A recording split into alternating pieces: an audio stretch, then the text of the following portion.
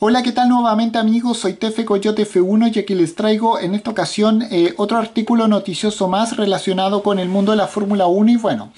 porque como sabemos la FIA introduce medidas para eh, la siguiente competencia del Gran Premio de Australia para evitar sanciones como la del piloto obetense, o sea, el asturiano Fernando Alonso y bueno,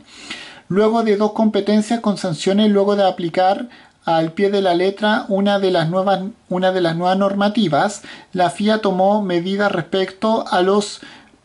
a los eh, cajones de, de, partida y bueno, pero sin más que decir vamos a hablar un poco de aquello. Bueno, dos competencias con dos penalizaciones, así fue el el explosivo debut de una de las nuevas normativas de la Federación Internacional del Automovilismo, o sea, la FIA, introducida para esta temporada 2023, por las cuales a partir de este momento se perseguirán a los eh, pilotos que no se coloquen de manera adecuada en su eh, lugar de partida al momento de afrontar la salida de una competencia. Y bueno, con esto eh, fue la nueva regla bastante sonada desde que comenzase la actual temporada 2023 cobrándose su primera víctima en el Gran Premio de Bahrein de la mano del el francés Esteban Ocon, piloto oficial del equipo Alpine que realmente sí se colocó algo por delante de la marca para afrontar el estreno de la, nueva de la actual temporada. Y bueno,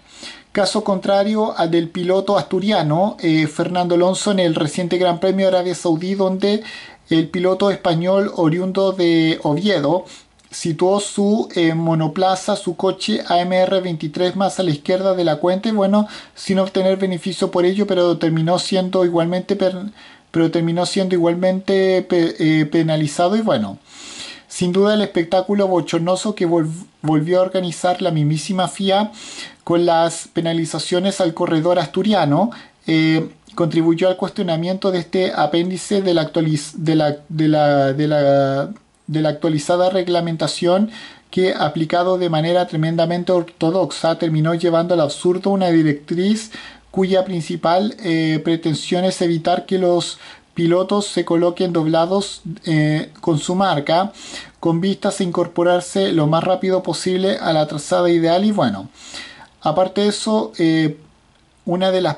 una de las pruebas de la negligencia y sin sentido de la FIA fue bastante dantesco ver cómo los mimísimos comisarios decidieron sancionar a Fernando Alonso en el reciente Gran Premio en Jeddah. Eh, hicieron la vista gorda y con otros eh, corredores mal colocados como por ejemplo Valtteri Bottas, Lance Stroll o Logan Sargent y bueno. En este contexto la FIA confirmó una revisión de la normativa para hacer de esta una más lógica, eh, fruto aparte de la queja de diversos pilotos quienes reconocieron que luego del Gran Premio, luego del reciente Gran Premio de Arabia Saudí, eh, lo complicado que resulta cuadrar adecuadamente el coche, teniendo en cuenta la reducida visión que existe eh, a día de hoy, la cual posee el piloto, y bueno, así así tal como un delegado de la FIA confirmó al medio Racing News 365, se tomaron eh, cada una de las medidas desde la, desde la, desde la institución em, rectora para hacer más asequible la correcta colocación del monoplaza dentro de las marcas salida y bueno, haciendo este reducido espacio de, de hasta 20 centímetros más ancho, algo algo dado al margen del mismísimo piloto, eh, aparte de unas líneas de guía justo apuntando a la parte central del cajón con vista a orientar al piloto al momento de situarse dentro de su marca y bueno, en este sentido y con vista a evitar que en cada, en cada evento eh, si tienen varios sancionados por esta normativa aplicada de manera tan puntillosa, eh, fueron vitales las voces de diversos eh, corredores y rivales del piloto asturiano Fernando Alonso, quienes se pronunciaron en favor del mismísimo corredor obetense luego de la reciente competencia de Jeddah, en la que, eh, en la que fue duramente castigado por infracciones de las que no tuvo ventaja. Y bueno, en lo respectivo a las posiciones de la posición de salida, eh, eh, George Russell, quien es el presidente de la Asociación de Pilotos y quien es piloto oficial del equipo eh, Mercedes-Benz, eh, sentenció que era ridículo perseguir a los pilotos por no colocarse de manera adecuada dentro de la marca. Eh,